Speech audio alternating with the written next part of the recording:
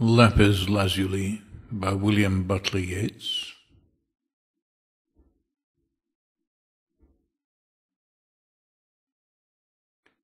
I have heard that hysterical women say they are sick of the palette and fiddle bow, of poets that are always gay, for everybody knows, or else should know, that if nothing drastic is done, aeroplane and zeppelin will come out pitch like King Billy bomb-balls in, until the town lie beaten flat. All perform their tragic play. There struts Hamlet, there is Lear, that's Ophelia, that Cordelia.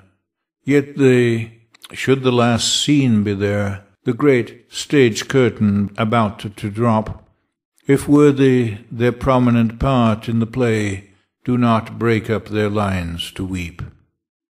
They know that Hamlet and Lear are gay, gaiety transfiguring all that dread. All men have aimed at, found, and lost, blackout, heaven blazing into the head, tragedy wrought to its uttermost. Though Hamlet rambles and Lear rages, and all the drop scenes drop at once upon a hundred thousand stages. It cannot grow by an inch or an ounce.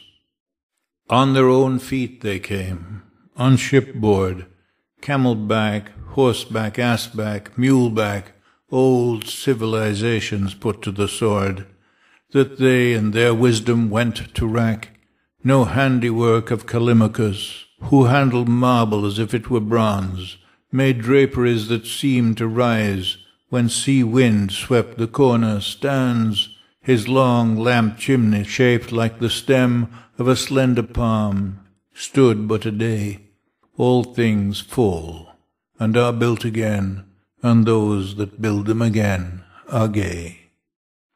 Two Chinamen, behind them a third, are carved in lapis lazuli. Over them flies a long-legged bird, a symbol of longevity. The third, doubtless a serving man, carries a musical instrument. Every discoloration of the stone, every accidental crack or dent, seems a watercourse or an avalanche, or a lofty slope whereon it still snows, through doubtless plum or cherry branch, sweetens the little halfway house those Chinamen climb towards. And I delight to imagine them seated there there on the mountain and the sky, on all the tragic scene they stare. One asks for mournful melodies, accomplished fingers begin to play. Their eyes, mid many wrinkles, their eyes, their ancient, glittering eyes, are gay.